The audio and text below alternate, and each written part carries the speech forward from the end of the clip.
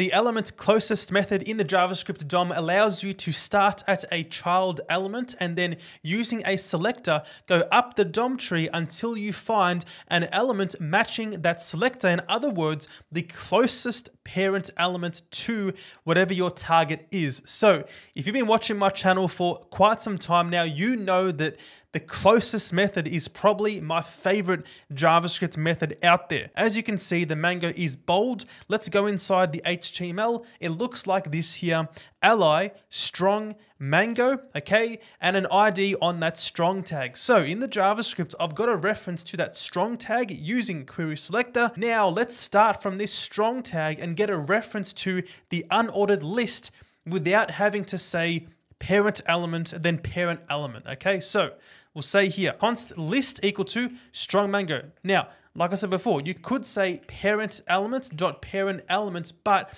what if you're down a few more levels. You need to keep track of how many levels there are in order to go back to exactly. Okay, that's this is where the closest method is going to come in handy. So what you can say instead, and it's much more reliable, is to say closest like this, then pass through here a selector, for example, UL. Console.log list here. I'll save this. Now we have a reference to that unordered list from that strong mango tag. Okay, another example of where this comes in handy, and this here is actually really important.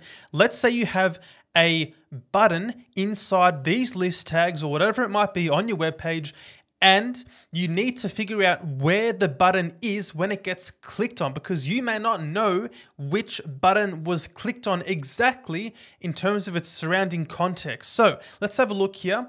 I've got a list of these buttons doing a query selector all on the class of btn-add, of course, coming from this right here. So we have these three buttons, then saying for each of these three buttons, let's add an event listener for the click event and console log. I'll save this, go back in the browser, click on these, and of course we get clicked right here three times, etc. But I need to know, okay, I've got this button, which list item is this button for? Well, you can use closest. Let's say btn.closest, then pass through LI. I'll just console log this, and of course, you're gonna see it's gonna tell you which one was clicked on. Save this, click here, we get, of course, apple, do it again, we get banana. And that is all for this video. If this one helped you out, make sure to drop a like and subscribe to dcode, and here is another video.